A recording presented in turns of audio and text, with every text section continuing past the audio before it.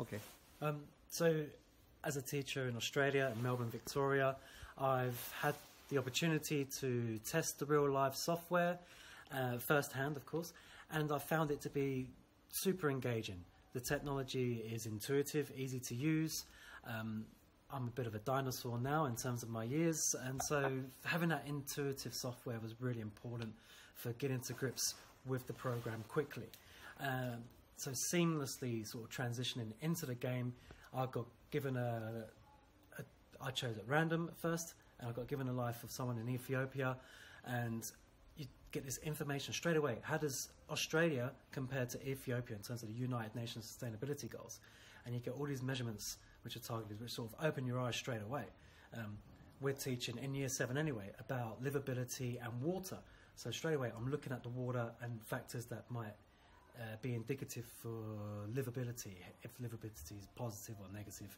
And so that information is readily available, very easy to take some notes, and then you get straight into the life, um, and it creates a narrative.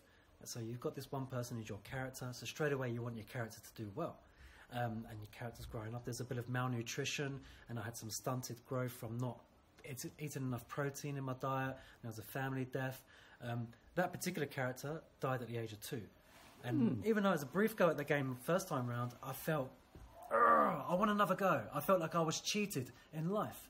And I dare say that, that kind of, that, that was like a eureka moment because it was, that empathy was developed for the character. Even though it was a piece of software and it's a virtual life, I had a kind of vested interest in that character. So when that character died unfairly at, at a young, like incredibly young age, two years, I, I, felt cheated.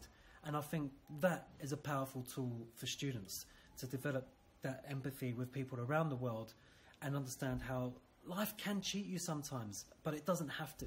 So it can be a springboard into sort of developing um, ways forward and ways of overcoming problems, whether it's poverty, climate change, or equality, whatever the situation is, it's a springboard. So that software can be a springboard for pushing on. Um, in my own personal experience, I started the game again because I wanted another go because I felt so cheated, uh, and I chose the country this time, and I've chose Iran because I've studied Iran before and I've got friends that are mm. from Iran. Uh, and my life, I, I, lasted a bit longer this time, but there was, there was different issues as well. So I felt the game um, it wasn't sort of a one size fits all approach. It was very unique to the region or country where you have your life, your virtual life. Um, and some of the choices of should I get a job at the age of 14 to help support my family? Um, I had friends on this virtual life who were, you know, engaging in, you know, drinking alcohol at a young age. Um, and I ticked yes. And then my sister in the game rejected alcoholism because that's, that's what she saw me. And it's like you see the impact of your actions. Um, and I was actually, you can sort of set your uh, parameters of what your character's like a little bit, and I set my character to be like you know quite quite intelligent. So they were doing what at school? Could I do I want to jump forward a year at school and things like that? So it was really involved. You had some real uh, important, significant choices you can make to the character, and you saw the implications for that, not just for your own individual virtual character, but the family and the community as well. So um, super engaging software, um, great for developing empathy for others around the world, sort of bringing those stats to life because sometimes as a class in a class as a teacher you show documentaries or things in a textbook you give them information and it's all a bit abstract um, so developing that relationship with someone even if it is virtual in another part of the world really does build in that empathy and can be a springboard for developing other practical potential practical solutions for the world's problems and michael uh, yeah. what other skills you feel as a teacher yeah. can be built or are building when you uh, play a game like real life Oh, a wild I mean, guess, um, maybe. There's a variety of skills that you're building. Uh, I guess ICT straight away because you're developing, you know, using software. Um, I would argue, you know, you could do this as a collaboration, group work, uh, where you could have an inquiry question uh, and this could sort of feed into the inquiry question. As I said, I mentioned that I was teaching, or I am teaching this year, about livability and water. So that could be the focus, even though you're engaging with the game in a generic way, you, have got that focus all the time. So you can look at the stats and bits like that that affect livability mm-hmm. or affect water use or water quality. Um, in terms of other skills, of course, you've got literacy, uh, you've got awareness of other countries and other cultures. Um, yeah, I, I- think it's pretty fluid and flexible. Maybe we we, we use some word. We are not teachers, Yeah. but we use something like global citizenship yeah. or uh, cross-cultural understanding Yeah, yeah, yeah. or similar, social geography. we have you know. yeah, yeah, we have similar. Yeah, in Australia we have similar. Yes, things. yeah, of course. Um, absolutely, cross-cultural awareness is absolutely essential. And Yeah. We live in a global community. Um, you know, instant access to people halfway around the world, wherever that may be. Um, yeah, I, I'm- I'm a bit. I feel like I've babbled on a bit too much, and I've run out. and second is, you Um, know, I see a lot of teachers. Glo- oh, global citizens now. Yeah, Yeah. It's, it's, it's too reductive to think I'm just an Australian or I just live in Victoria or I just live in Melbourne because as much as the choices and decisions we make in Melbourne affect other people regionally, nationally, and globally, other decisions are made which affect us as well. And I think in Australia, where climate change is, is there, plain to see, you've got bushfires, you've got record summer temperatures each year, uh, you've got drought in various parts of Australia. Um, we're, we're quite, you know, excluded from that in Victoria to an extent, but does it affect other people we know and love and our community? Yeah, absolutely. So developing that global citizenship is absolutely important. You know, you've got to Yeah. step outside of just my neighbourhood. We're a, it's a global, local nexus, if that makes sense. Yeah. So I appreciate what you can do on a local level Mm, in a global context. context. Yeah. Yeah.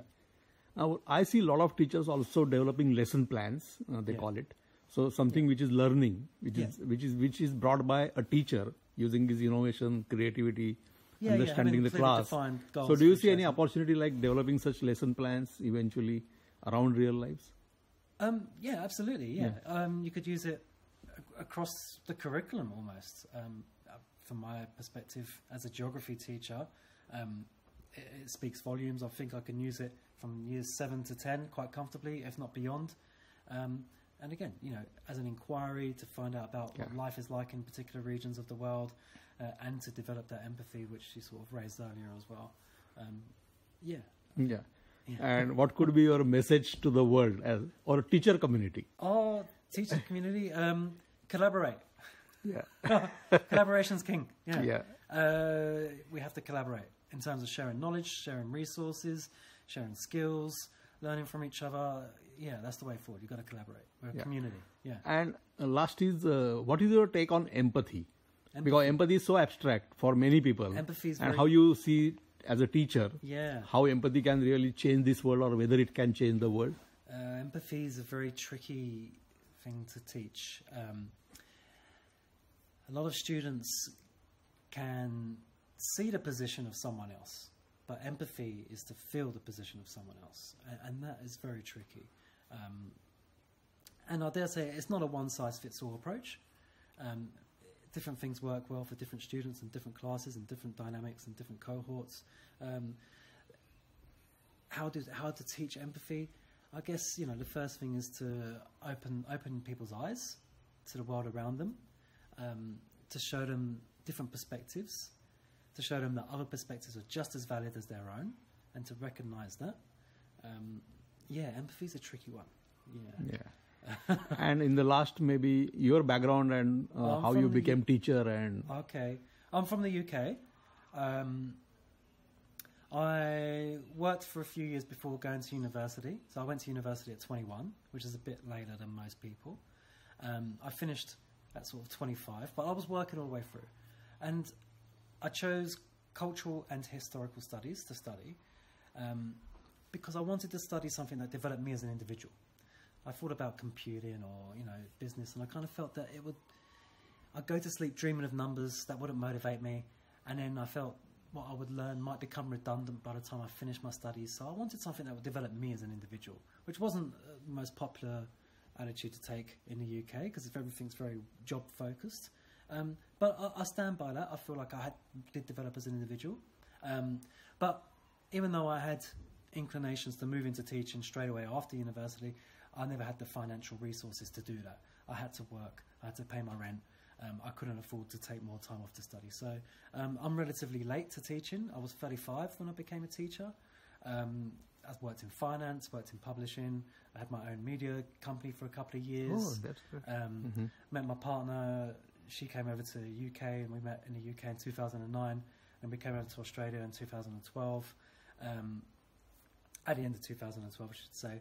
And then we was just on the tram going into the CBD, which is where I worked at the time, and saw an open day for Melbourne University for teaching, and we just sort of said, "Oh yeah, let's just go and have a look."